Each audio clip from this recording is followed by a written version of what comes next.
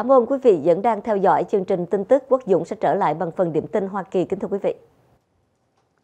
Rủi ro kế hoạch tham chiến đánh IS Quân đội Hoa Kỳ có thể sớm trở lại Iraq trực tiếp tham chiến sau hơn 6 năm rút quân trong sứ mệnh mới là đánh bại hoàn toàn các tay súng thuộc Tổ chức Nhà nước Hồi giáo IS tự xưng. Người phát ngôn Bộ Quốc phòng Hoa Kỳ là ông Jeff Davis vào ngày 27 tháng 2 cho biết, Ngũ Giác Đài sẽ trình lên Tòa Bạch Ốc bản kế hoạch đánh bại Tổ chức Nhà nước Hồi giáo tự xưng và Bộ trưởng Quốc phòng James Mattis sẽ thông báo nhanh về kế hoạch này với các quan chức cấp cao trong chính quyền của Tổng thống Donald Trump.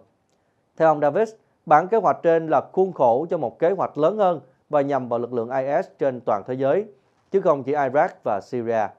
Dù phát ngôn viên của Tòa Bạch Ốc không nêu tên cụ thể về kế hoạch trên, song kênh truyền hình CNN kế hoạch có thể bao gồm lựa chọn gửi lực lượng bộ binh để tham chiến lần đầu tiên ở miền Bắc Syria trong chiến dịch đánh IS.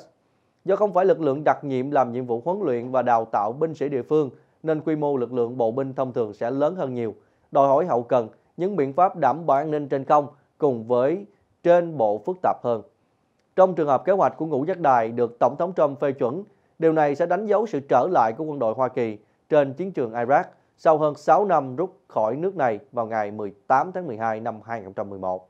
Đây cũng là ngày đánh dấu kết thúc một trong những cuộc chiến tranh kéo dài và tốn kém bậc nhất của quân đội Hoa Kỳ ở nước ngoài sau khi chiến tranh thế giới lần thứ hai. Sự kiện tham chiến trở lại của quân đội Hoa Kỳ dù có thể là ở một lực lượng hạn chế tại Iraq và có thể phần lãnh thổ miền Bắc Syria nằm dưới quyền kiểm soát của lực lượng chống đối ở nước này, có thể khiến lực lượng của Hoa Kỳ một lần nữa bị mắc kẹt tại miền đất dữ này. Khó có thể có câu trả lời chắc chắn, nhưng nhìn vào thực tế cuộc chiến chống IS hiện nay, có thể thấy lực lượng khủng bố khác tiếng này khó có thể cầm cự được bao lâu trước sự tấn công từ tứ phía. Thời gian qua, lực lượng IS đã liên tục bị thất trại nặng nề trên cả hai mặt trận chính ở Iraq và Syria. Mới nhất là chính quyền mất kiểm soát sân bay Mosul ở Iraq và thất thủ ở Al Albad, thành trì của miền cực Tây Syria của IS. Trong khi đó, ngày 28 tháng 1 vừa qua, Tổng thống Trump đã ký một sắc lệnh hành pháp và yêu cầu ngũ giác đài trong vòng 30 ngày phải trình kế hoạch đánh bại IS. Việc Tòa Bạch Ốc phát tạo kế hoạch đánh bại Iraq nhằm thực hiện sắc lệnh cũng là điều mà Tổng thống Trump từng tuyên bố rằng việc đánh bại các nhóm Hồi giáo cực đoan nằm trong số những mục tiêu hàng đầu trong chính sách đối ngoại của ông. Tuy nhiên, có nhanh chóng đánh bại hoàn toàn lực lượng IS hay không, hay để mắc kẹt như nhiều lần tham chiến trực tiếp trên bộ trước đó của quân đội Hoa Kỳ là một rủi ro đối với kế hoạch này. Thị trưởng thành phố New York là ông Bill de Blasio vừa bị các thẩm phán liên bang và cảnh sát Cục Điều tra Liên bang FBI thẩm vấn trong khuôn khổ cuộc điều tra liên quan đến những cáo buộc tham nhũng và gian lận tài chính trong chiến dịch vận động tranh cử năm 2013. Trước mọi lời cáo buộc, ông Bill de Blasio là đảng viên dân chủ luôn khẳng định không liên quan đến những cáo buộc gian lận tài chính trong tranh cử, đồng thời khẳng định sẵn sàng hợp tác với cơ quan điều tra nhằm sớm làm sáng tỏ vấn đề này. Chúng tôi không làm sai điều gì cả, nhóm cố vấn của tôi cũng vậy. Chúng tôi tranh cử và vận động tranh cử theo đúng quy định của pháp luật. Thị trưởng Bill de Blasio nhấn mạnh. Trong khi đó, theo tiết lộ của các điều tra viên quận Manhattan, New York, họ đang tìm kiếm dấu vết xem ai là người giúp nguồn quỹ tranh cử của ông Bill de Blasio bỗng chốc tăng đột ngột trong cuộc bầu cử địa phương hồi năm 2013. Theo tiết lộ, một tổ chức phi chính phủ có liên quan đến những cố vấn tranh cử của ông Bill de Blasio hiện bị cho vào tầm ngắm. Kính thưa quý vị. Giải mã thành công của ông Trump Steve Bannon, ông Trump đã làm việc xuất sắc, thành công trong tháng đầu tại nhiệm. Ông Bannon liệt kê ba nội dung mà ông gọi là thành tích của ông Trump. Rút khỏi Hiệp định Đối tác Xuyên Thái Bình Dương TPP, đưa chủ quyền lại cho người dân Hoa Kỳ, ra các xác lệnh về nhập cư, đảm bảo an ninh và quyền lợi Hoa Kỳ. Tái cấu trúc chính phủ khi chọn các lãnh đạo kinh doanh vào nội các. Nhưng liệu tháng đầu tiên của Tổng thống Hoa Kỳ đời thứ 45 có thực sự thành công đến vậy?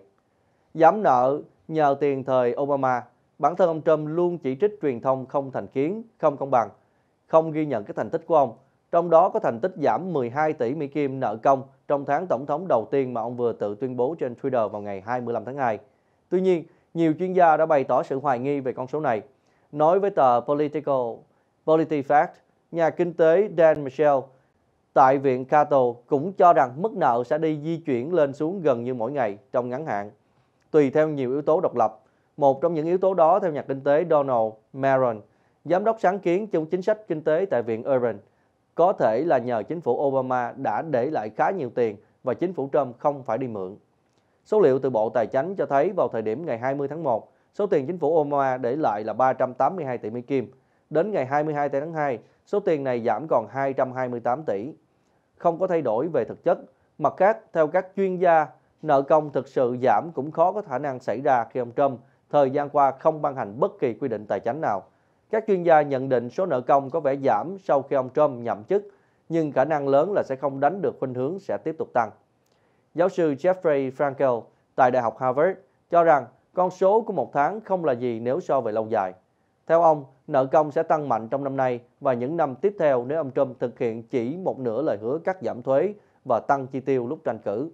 Tờ Wall Street Journal cũng cho biết các quan chức tòa Bạch Ốc đang lên kế hoạch thay đổi chính sách tính toán thâm hụt thương mại để phù phép cho con số này lạm phát. Theo đó, những hàng hóa cặp kho cảng tại Hoa Kỳ rồi xuất khẩu ngay lập tức sẽ không được tính là xuất khẩu nhưng vẫn được tính vào nhập khẩu. Việc làm phình to thâm hụt thương mại sẽ tăng khả năng cho chính phủ ông Trump đàm phán lại hoặc thậm chí là có cớ để xé bỏ một số thỏa thuận thương mại của Hoa Kỳ. Tờ Foreign Policy đã bình luận như vậy. Con người gây ra phần lớn các vụ cháy rừng ở Hoa Kỳ. Theo một nghiên cứu mới, trong những thập kỷ gần đây, con người là thủ phạm gây ra phần lớn các vụ cháy rừng ở Hoa Kỳ, khiến cho mùa cháy rừng kéo dài hơn và làm tăng diện tích đất trống, đồi trọc.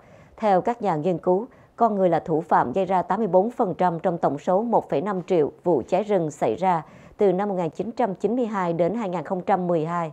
Điều này có nghĩa là trong 5 vụ cháy rừng thì con người gây ra 4 vụ, trong khi xét gây ra số vụ cháy rừng còn lại. Ngoài ra thì các hoạt động của con người đã khiến cho mùa cháy rừng kéo dài gấp 3 lần trong hai thập kỷ gần đây và làm cho 44% trong tổng số diện tích đất rừng bị cháy. Theo ông Bethany Bradley của Đại học Massachusetts Amherst, một trong những người đứng đầu cuộc nghiên cứu trên, con người đang làm cho các vụ cháy rừng mở rộng về phạm vi địa điểm và các điều kiện môi trường hơn so với là xét gây ra. Ngoài ra, tình trạng đô thị hóa với tốc độ nhanh cũng làm cho các vụ cháy rừng trở nên trầm trọng hơn. Trong khi đó, thì bà Jennifer Batch thuộc Đại học Colorado Boulder, con người làm cho mùa cháy rừng kéo dài gần như quanh năm. Bà nhấn mạnh kết quả nghiên cứu trên đã chỉ đích danh nguyên nhân gây ra các vụ cháy rừng thay vì chỉ chú trọng vào nhiên liệu gây cháy hoặc điều kiện thời tiết làm cho đám cháy lan rộng. Hoa Kỳ đã hứng chịu các vụ cháy rừng trên diện rộng trong thập kỷ qua, nhất là ở nửa khu vực miền Tây nước này. Hoa Kỳ đang lo ngại về khoảng thời gian và sự dữ dội của các vụ cháy rừng trong tương lai bởi chúng có thể gây tác động nghiêm trọng tới nông nghiệp, hệ sinh thái, hoạt động vui chơi giải trí và các lĩnh vực kinh tế khác. Ngoài ra, một nỗi lo nữa là chi phí dập tắt cháy rừng quá cao, lên tới 2 tỷ đô la trong những năm gần đây. SpaceX đưa du khách tham quan mặt trăng vào năm 2018. SpaceX cho biết sẽ đưa hai du khách vào quỹ đạo thám hiểm mặt trăng vào năm 2018. Hôm thứ Hai, người sáng lập SpaceX là ông Elon Musk cho các nhà báo biết tàu vũ trụ Dragon 2 của công ty sẽ chở hai du khách bay một vòng quanh mặt trăng, nhưng sẽ đáp xuống mặt trăng trước khi trở về trái đất. Chuyến bay ước tính dài từ 500.000 đến 650.000 km. Ông Musk cho biết không tiết lộ danh tính của du khách cũng như không cho biết họ phải trả bao nhiêu tiền cho chuyến đi. Nhưng nói rằng không ai đến từ Hollywood. Tàu vũ trụ sẽ bay tự động nên hai du khách này sẽ không được huấn luyện để điều khiển tàu Dragon 2. Tuy nhiên, ông Musk nói hai người sẽ được huấn luyện chuyên sâu trước chuyến bay. Nếu thành công, đây sẽ là chuyến bay thám hiểm mặt trăng đầu tiên kể từ lần đổ bộ của phi thuyền Apollo vào năm 1972.